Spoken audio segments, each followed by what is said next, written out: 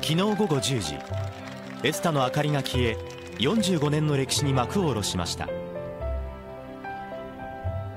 午前10時の開店から大勢の人が詰めかけこの日の来館者はおよそ9万人に上りました。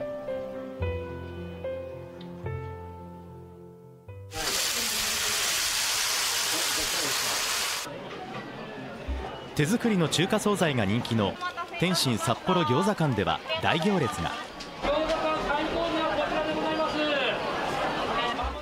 長年店長を務め現在は取締役の籾山清進さんが駆けつけました。ありがたい。の一言、うん、お客さんに支えられてきたっていうのが、本当実感して今、えー、感じております。この日用意したのはザンギ100キロ。餃子とシューマイおよそ1万個。フル回転で次々と作っていきますが午後7時に完売しました。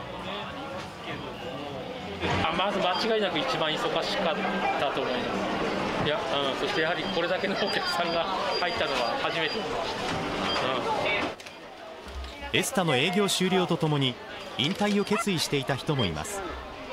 とんかつ玉富士の三浦恵美子さん77歳です。最後まできちっと頑張っていきたいと思います。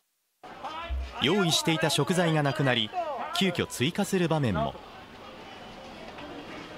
あこれこれこれこれあらわざわざすいません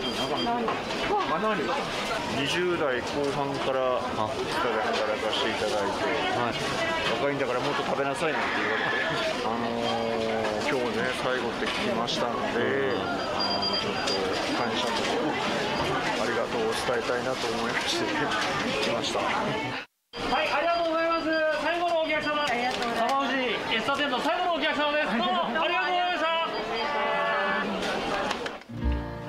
午後6時30分、商品が完売し、三浦さんの30年以上にわたるエスタでの歴史にも終止符が打たれました。もう疲れました、私も。最後に。ありがたく皆さんね、来ていただきました。嬉しいです。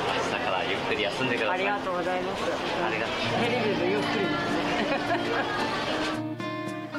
地下1階の大食品街では午後7時を過ぎると完売の店が相次ぎました。そして午後9時。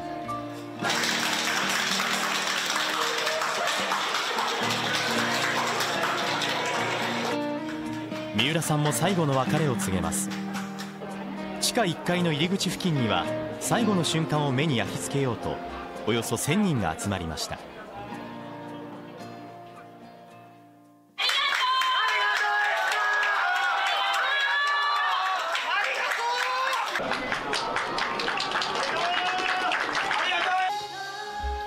午後9時45分から従業員向けの閉店セレモニーが行われました。沿道にはあふれるほどの人の姿も。今日が最後じゃなくって今日からまた新たな一歩を踏み出すそんな思いでこの閉店の日を迎えたいと思います。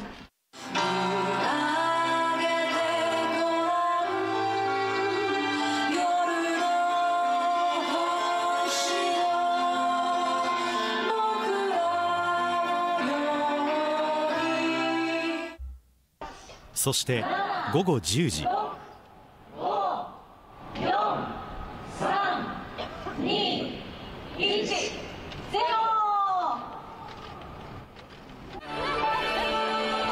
明かりが消え45年の歴史に幕が下ろされました。しかしエスタを愛した道民の胸には残り続けることでしょう